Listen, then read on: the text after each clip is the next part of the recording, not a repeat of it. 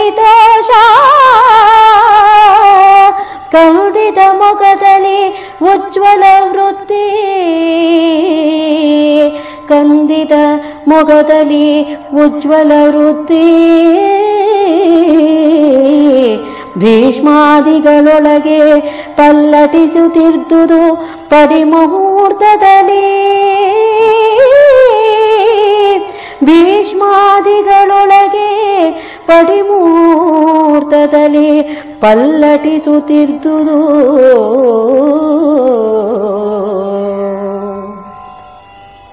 ಸ್ನೇಹಿತರೆ, ಕುಮಾರವ್ಯಾಸ ಭಾರತದ ಸಭಾಪರ್ವದಲ್ಲಿ ಹದಿನೈದನೆಯ ಸಂಧಿಯಲ್ಲಿ ನಾವು ಐದನೇ ಪದ್ಯಕ್ಕೆ ಬರ್ತಾ ಇದ್ದೇವೆ.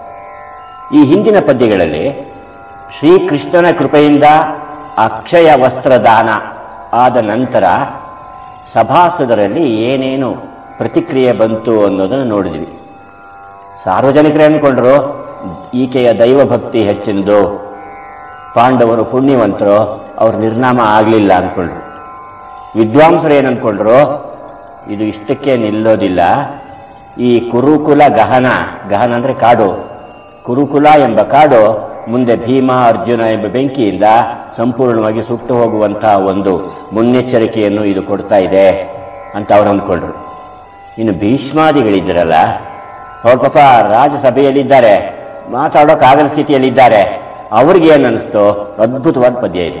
ಹೊರಗಡೆ ಒಂದು ನಿಮಿಷಕ್ಕೆ ಒಂದೊಂದು ಭಾವನೆ ಬರುತ್ತೆ. ಯಾವಾಗಲೂ ಕೂಡ ನೀವು ಒಂದು ಮದುವೆ ಮನೆಯಲ್ಲಿ ಅಳುತ್ತಾರಲ್ಲ? ಅಥವಾ ತುಂಬ ಸ್ನೇಹಿತರನ್ನು ಕಳಿಸುವಾಗ, ಅಂದರೆ ಸಂತೋಷದಲ್ಲೂ ಕೂಡ ನಿಮಗೆ ದುಗುಡ ಆಗ್ಬೋದಲ್ವೇ?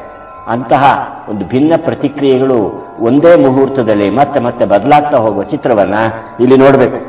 ಭೀಷ್ಮ, ದ್ರೋಣ ಕೃಪಾ ಮೊದಲಾದವರ ಸ್ಥಿತಿಗತಿಗಳು ಹೇಗಿತ್ತು ಅನ್ನೋದು ಚಿತ್ತ. ಸ್ವಲ್ಪ ಬದಲು ಆಗುತ್ತೆ. ಯಾಕೆಂದ್ರೆ ಪಲ್ಲಟಿಸುತ್ತಿರ್ದುದು ಪಡಿ ಮುಹೂರ್ತದಲ್ಲಿ ಒಂದೊಂದು ಪ್ರತಿ ಮುಹೂರ್ತದಕ್ಕೆ ಬದಲಾಗ್ತಾ ಹೋಯ್ತಂತೆ. ಅವ್ರಿಗೆ ಬಂದ ಸ್ಥಿತಿಯನ್ನು ನೆನೆದು ಶೋಕ ಬರುತ್ತೆ. ಬೆಗಡಿನಲ್ಲಿ ಬೆಗಡು ಅಂದ್ರೆ ವಿಸ್ಮಯ. ಅದರಲ್ಲಿ ಮುದ ಖೇದ ತುಂಬಾ ಸಂತೋಷ ಇದೆ. ಈಗ ಅವರು ಬದುಕದ್ರಲ್ಲ ಅನ್ನೋ ಚಿತ್ರ ಅದರಿಂದ ಮುದ. ಆದರೆ ಹೀಗಾಯ್ತಲ್ಲ ಎಂಬ ಖೇದ ನಯನಾಂಬುಗಳೊಳಗೆ ಆನಂದಾಶ್ರು. ಆ ಕಣ್ಣಲ್ಲಿ ನೀರು ಸುರಿತಾ ಇದೆಯಂತೆ. ನೀರು ಸುರಿಯೋದು ದುಃಖದ ಸೂಚನೆ ಆದರೆ ಇಲ್ಲಿ ಆನಂದಾಶ್ರು. ಆ ದೈವದ ಮಹಿಮೆಯನ್ನು ಏನು ಹೇಳೋಣ?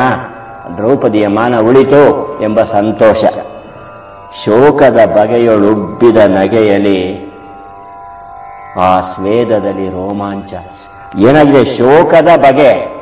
ಇದುವರೆಗೆ ಇದ್ದದ್ದು ಶೋಕದ ಸ್ಥಿತಿಯಲ್ಲಿ. ಇದ್ದಕ್ಕಿದ್ದಂತೆ ಪರಿವರ್ತನ ಆಗಿದೆ. ಇಲ್ಲಿ ತೆರೆ ಎಳೆದಂತಾಗಿದೆ. ಉಬ್ಬಿದ ನಗೆಯಲಿ ಮುಖ ಪ್ರಸನ್ನವಾಗಿಬಿಟ್ಟಿದೆ ಅವರಿಗೆ. ಹಾಗೆ ಆ ಸ್ವೇದದಲ್ಲಿ ಬೆವರು ಕಿತ್ಕೋತಾ ಇದೆ ಅವರಿಗೆ. ಯಾಕೆಂದ್ರೆ ಉಸಿರು ಕಟ್ಟಿಸೋ ವಾತಾವರಣ ಅದು.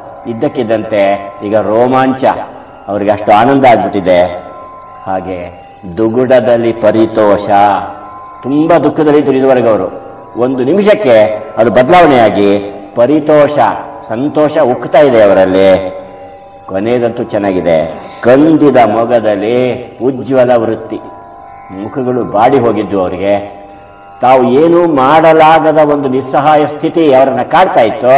ಈಗ ಅದು ಪರಿಹಾರ ಆದ್ಮೇಲೆ ಉಜ್ವಲ ವೃತ್ತಿ ಉತ್ಸಾಹ ಭರಿತವಾಯಿತು ಅವರ ಮುಖ. ಕಂದಿದ ಮುಖ ಹೀಗಾಯ್ತು. ಭೀಷ್ಮಾದಿಗಳೊಳಗೆ ಹೀಗೆ ಪಲ್ಲಟಿಸುತ್ತಿರುವುದು.